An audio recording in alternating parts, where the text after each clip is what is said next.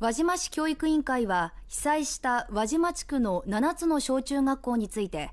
来月6日から輪島高校の校舎を活用して再開すると発表しました。これで県内すべての学校で休校が解消されることになります。発災から1ヶ月県内すべての小中学校で登校が可能になります。